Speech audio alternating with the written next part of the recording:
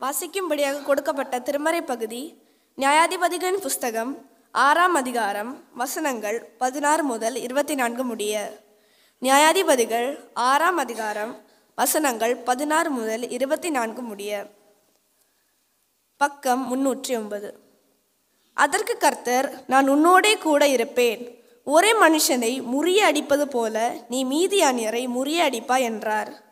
அப்பொழுது அவர் உம்முடைய கண்களில் எப்பொழுதும் எனக்கு தயை கிடைத்ததானால் என்னோட பேசுகிறவர் தேவரீர்தான் எனக்கு என்று எனக்கு ஒரு அடையாளத்தை காட்ட வேண்டும். நான் உம்மிடத்திற்கு என் காணிக்கையை கொண்டு வந்து உமக்கு முன்பாக வைக்கும் அளவும் இவ்விடம் விட்டு போகாதிருப்பீராக என்றார். அதற்கு அவர் நீ திரும்பும் அளவும் நான் இருப்பேன் என்றார்.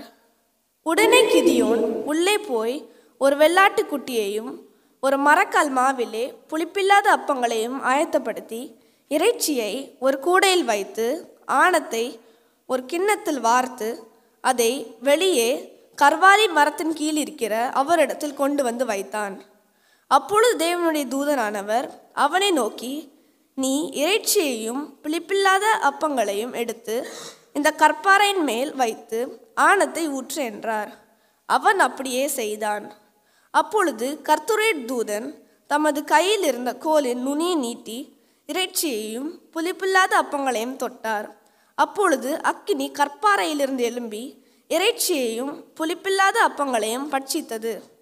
கர்த்தரின் தூதனோ வென்றால் அவன் கண்களுக்கு மறைந்து போனார். அப்பொழுது கிதியோன் அவர் கர்த்தருடைய தூதன் என்று கண்டு ஐயோ கர்த்தரான ஆண்டவரே நான் கர்த்தருடைய தூதனை முகமுகமாய் கண்டேனே என்றார். அதற்கு கர்த்தர் உனக்கு சமாதானம். பயப்படாதே நீ சாவதில்லை என்று சொன்னார். அங்கே கிதியோன் கர்த்தருக்கு ஒரு பலிபீடத்தை கட்டி அங்கே எகோ எதற்கு எகோவா ஷாலோம் என்று பெயரிட்டான். அது இந்நாள் வரைக்கும் அபியேஸ்ரியர் ஊராகிய ஒப்புராவில் இருக்கிறது.